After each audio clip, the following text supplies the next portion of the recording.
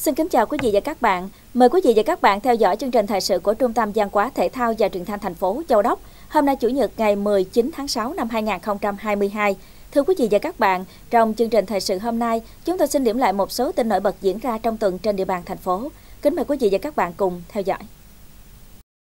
Trong tuần, đoàn công tác của Thượng trực Thành ủy, Ủy ban nhân dân thành phố Châu Đốc do Phó Bí thư Thành ủy, Chủ tịch Hội đồng nhân dân thành phố Châu Đốc Đinh Văn Bảo làm trưởng đoàn đã đến thăm, tặng quà các ban trị sự giáo hội Phật giáo Hòa Hảo trên địa bàn thành phố Châu Đốc nhân kỷ niệm 83 năm ngày Đức Quỳnh giáo chủ khai sáng Đạo Phật giáo Hòa Hảo 18 tháng 5 1939, 18 tháng 5 2022.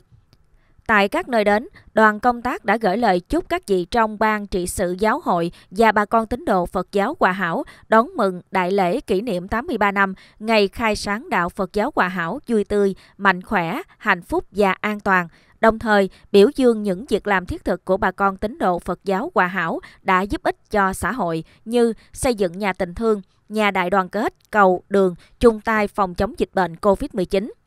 Thời gian tới, Thường trực Thành ủy, Ủy ban Nhân dân thành phố Châu Đốc mong muốn Ban trị sự Giáo hội Phật giáo Hòa Hảo tiếp tục đẩy mạnh tuyên truyền, vận động các tín đồ Phật giáo Hòa Hảo thực hiện tốt chủ trương, chính sách của đảng, pháp luật của nhà nước, tiếp tục phát huy tinh thần đoàn kết, tương thân tương ái, thực hiện tốt các cuộc vận động, phong trào thi đua yêu nước, xây dựng nông thôn mới, phát triển kinh tế xã hội, làm tốt công tác an sinh xã hội, giảm nghèo.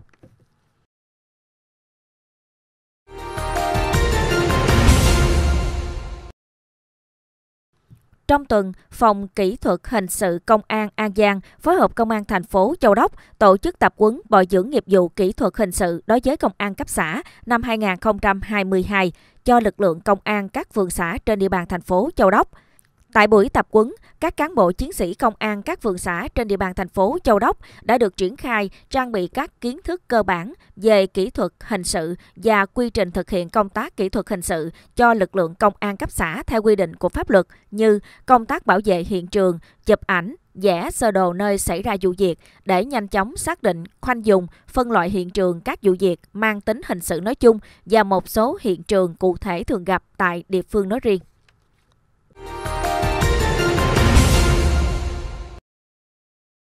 Cũng trong tuần, Ủy ban Kiểm tra Thành ủy Châu Đốc tổ chức hội nghị triển khai các quy định về công tác kiểm tra giám sát và thi hành kỷ luật của Đảng năm 2022. Hội nghị triển khai kết luận 34 KNL trên Tây Đức ngày 18 tháng 4 năm 2022 của Bộ Chính trị về chiến lược công tác kiểm tra, giám sát của đảng đến năm 2030 và các chuyên đề gồm quy định 22 quy đề trên Tây Đức ngày 28 tháng 7 năm 2021 của Ban chấp hành Trung ương về công tác kiểm tra giám sát và kỷ luật của đảng, hướng dẫn 02 HD trên Tây Đức ngày 9 tháng 12 năm 2021 của Ban Bí thư hướng dẫn thực hiện một số nội dung quy định về công tác kiểm tra giám sát và kỷ luật của đảng. Quy định 37 quy đề trên Tây Đức ngày 25 tháng 10 năm 2021 của Ban chấp hành Trung ương về những điều đảng viên không được làm, công tác kiểm tra, giám sát và thi hành kỷ luật trong đảng của đảng ủy và Quỹ ban kiểm tra đảng ủy cơ sở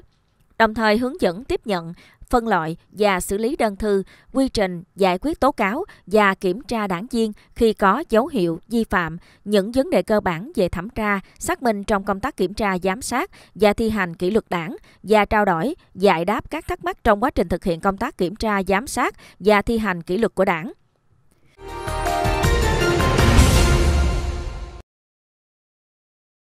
Trong tuần, Hội khuyến học thành phố Châu Đốc phối hợp Phòng Giáo dục và Đào tạo thành phố Châu Đốc tổ chức lễ trao học bổng sổ số kiến thiết An Giang cho các em học sinh phổ thông và học sinh khiếm khuyết tay chân đợt 2 năm học 2021-2022.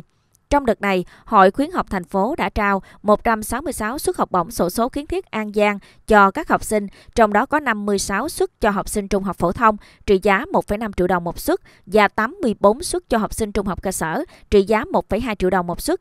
Ngoài ra, Hội khuyến học thành phố Châu Đốc còn trao 13 suất học bổng bảo trợ, khuyến tài cho các học sinh vượt khó học giỏi và 13 suất học bổng cho học sinh khiếm khuyết chân tay. Tổng mức kinh phí đợt cấp học bổng lần này trên 280 triệu đồng do công ty trách nhiệm hữu hạn một thành viên sổ số kiến thiết An Giang tài trợ.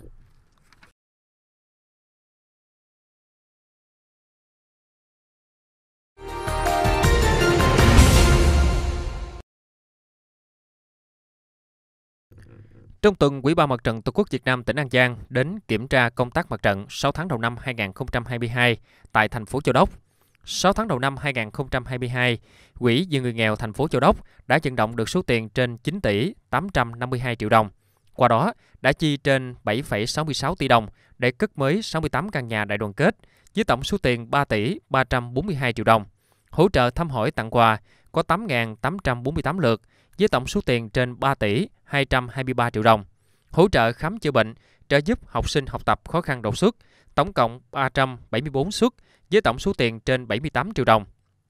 Bên cạnh đó, Mặt trận Tổ quốc Việt Nam thành phố còn phối kết hợp tổ chức tuyên truyền luật an toàn giao thông, phòng chống tội phạm ma túy mại dâm HKVS và luật phòng chống tham nhũng ba cuộc có 190 lượt người tham dự. Trong công tác đối ngoại nhân dân, Quỹ ban Mặt trận Tổ quốc Việt Nam thành phố tổ chức tặng cho nhân dân hai xã Chê Chốt và xã Cơm Bung Rô Săn của quyền Bồ Rê Chiêu Sa, tỉnh Tà Keo với 2 tấn gạo, 200 phần quà gồm mì gói và các nhu yếu phẩm thiết yếu với tổng trị giá 69 triệu đồng.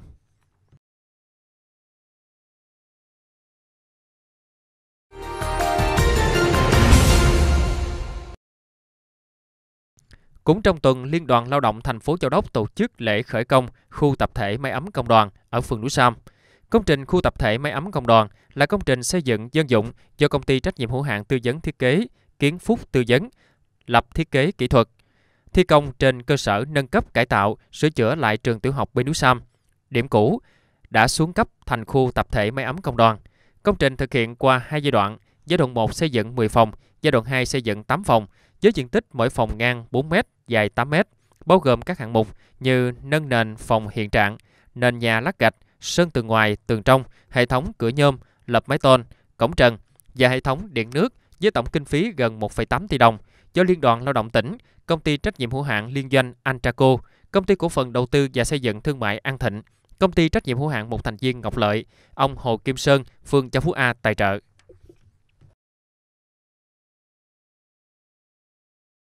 Thưa quý vị và các bạn, chương trình thời sự của Trung tâm Văn hóa Thể thao và Truyền thanh thành phố Châu Đốc đến đây là hết. Cảm ơn quý vị và các bạn đã quan tâm theo dõi. Xin kính chào tạm biệt.